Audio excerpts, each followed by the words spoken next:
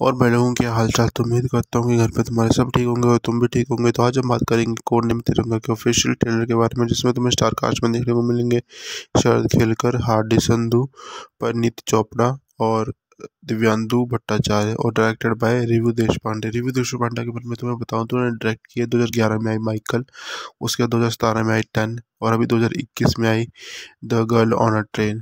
ठीक है, वो काफ़ी ज़्यादा अमेजिंग मूवीज़ नहीं थी। टेन को छोड़ के टेन जो थी, काफ़ी अच्छी मूवी थी। माइकल भी अच्छी मूवी थी। और जो अपनी जो आई थी the girl on a pink train वो भी काफ़ी ज़्यादा अच्छी थी।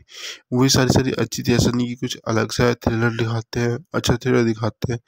अब मूवी की स्टोरी की बात करें तो एक लड़की है जिसको जो है एक मिशन दिया जाता है, एक टेररिस्ट है, उसको पकड़ना है पार्लियामेंट अटैक के बाद। जो टेररिस्ट जो गायब था, उसको दिख गया है तो उसको मिशन दिया जाता है कि उसको जो है तुम्हें मारना है उसको, लेकिन उसको जो है बीच में प्यार हो जाता है उसको हस्बैंड को मतलब जो भी है हस्बैंड है बॉयफ्रेंड है, जो भी है आई डोंट नो क्या है, शादी होती नहीं होती है, लेकिन उसको जो है वो चुनना है दोनों के बीच में, या तो मिशन पूरा करे या तो लव ठीक है? तो देखते हैं क्या होता है। मैं भी उसके साथ भी वो मिशन पे गई हूँ लद्दाख, ठीक है। लद्दाख था कि पाकिस्तान था आई डोंट नो क्या था वो। लेकिन काफ़ी ज़्यादा अच्छी लोकेशन पे शूट हुआ है। ब्यूटीफुल सी लोकेशन है। टर्की पे उसे जाकर मारना है उसको। मिशन जो अकम्पलिश जाता है उसका, ठीक है। जो भी है। लेकिन परिणीति के डायलॉग सुन के मज़ा आया। पहली बार लिटरली बोल रहा हूँ, काफ़ी ज़्यादा मज़ा आया परिणीति का। उनकी करियर की बेस्ट परफॉर्मेंस भी हो सकती है परिणीति चोपड़ा की है ठीक है। काफ़ी ज़्यादा मज़ा आया ट्रेलर को देख के। तुम बताओ तुम्हें कैसा लगा, ठीक है।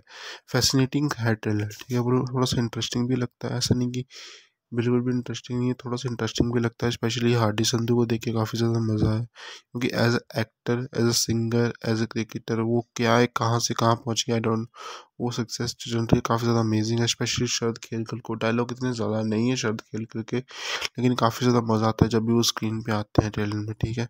काफ़ी ज़्यादा मज़ा आता है तो काफ़ी सारी लंबी चौड़ी कास्ट मैं सभी के नाम तो नहीं याद रख सकता, लेकिन जितने मैं बताया परिणीति चोपड़ा, हार्डी संधू, शरद खेलकर, दिव्यांदु भट्टाचार्य, काफ़ी ज़्यादा अमेजिंग स्टार कास्ट लग रही है। इन्होंने एक्ट्रेस को अपने, इन एक्टर्स ने अपने आप को प्रूव कर चुकी है लिटरली ठीक है? और शरद खेलकर का मैं मानता हूँ कि अगर रोल ज़्यादा हुआ और विलन ज़्यादा स्ट्रॉन्ग दिखाया गया तो ये मूवी बहुत कुछ कर सकती है, लेकिन शरद खेलकर का रोल कम हुआ और विलन करेक्टर जो वो थोड़ा कम दिखाया गया तो मूवी ख़त्म भी हो सकती है। तो डिपेंडिंग के ऊपर ही करता है कि वो कैसे शो करते हैं शरद खेर को स्पेशली और लव स्टोरी को मेरे हिसाब से थोड़ा कम दिखाएँ एज अ मतलब कि वीक पॉइंट भी हो सकती है लव स्टोरी इनका ये स्ट्रॉन्ग पॉइंट भी हो सकती है, वो इनके शो करने पे जाता है, ठीक है? और जो मूवी अच्छी भी हो सकती है, बुरी भी हो सकती है, दो चीज़ें होती हैं, ठीक है? ऐसा नहीं होता कि बहुत घटी आती है, ठीक है? लेकिन अब देखते हैं मूवी कैसे निकल के आती है। मूवी जो है नवंबर में, अक्टूबर में रिलीज़ होगी। मैं देखता हूँ कि कैसी जाएगी मूवी ठीक है? मैं काफ़ी ज़्यादा एक्साइटेड हूँ मूवी के लिए। तुम बताओ, तुम कैसे कैसे एक्साइटेड हो? क्या तुम्हें एक्साइट किया चीज़ मेरे को तो भाई मूवी का जो ट्रेलर में स्टार्टिंग में शरद खेल की आवाज़ सुन ली, वाह है जन्नत। और ऐसी वीडियो देखने के लिए लाइक करो शेयर करो सब्सक्राइब करो। आई हो तुम्हें वीडियो पसंद आई हो। See you then for now see you